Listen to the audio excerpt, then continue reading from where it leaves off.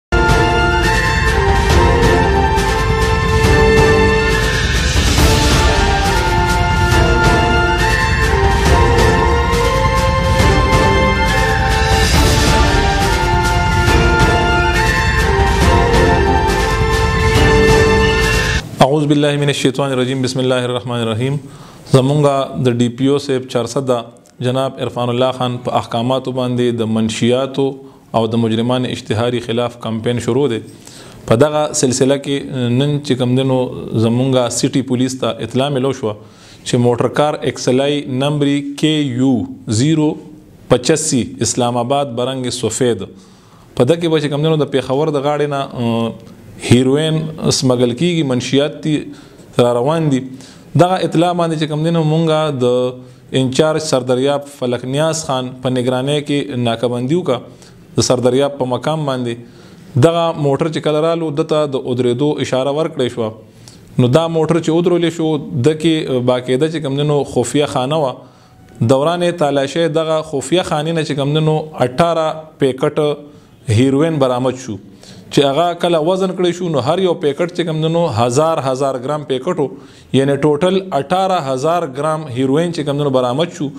او دغه ملزمان ستاسو د وړاندې ولاړ دي د یو نوم چې کوم دنو نعیم ولد سید مرجان ساکن افغانستان حال جمرود بازار بل د سره دا مرګره چې کوم دنو ګل واحد ول ظریف خان سکنا سور کمر جمرود دا دواړه په موټر کې راناستو او دای چې انټروګیټ شو کړه شو نو دای د خپل جرم چې کوم دنو تسلیم کړو چې یاو دا هیروین چې کوم دنو مونږه د اغه زینا راوړل او دلته چې کوم دنو په دې لار باندې بیا مونږ به دا موټر بل سړی ته حواله کولو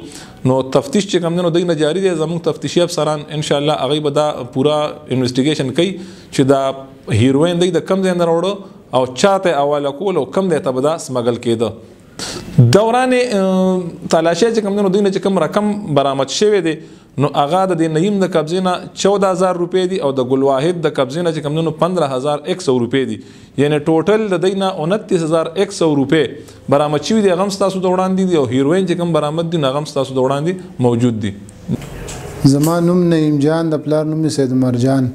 د افغانستان اوسیدونکی یم په جم کې اوسېږم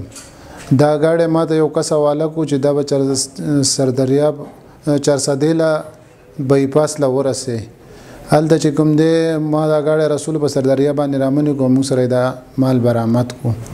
او به دا مونږ ډیره غټه غلطي شوې او بیا د پاره باسي نه کوم زه د مرګلی سره په ګاډي کې را ناستم او بدل تراولو چرساده باندې ګیر دا مال موږ سره وو